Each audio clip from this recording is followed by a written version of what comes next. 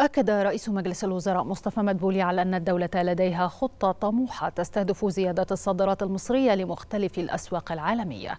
جاء ذلك خلال اجتماع مدبولي بمقر الحكومة بالعاصمة الإدارية الجديدة لمتابعة موقف مبادرات دعم الصادرات المصرية.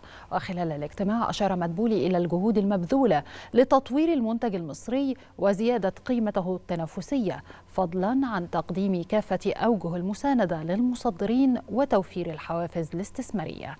وفي ختام الاجتماع أكد مدبولي على سرعة رد أعباء الصادرات المصرية للمصدرين لتشجيعهم على استمرار التطوير والتوسع والانتهاء من ميكنة المنظومة بأسرع وقت.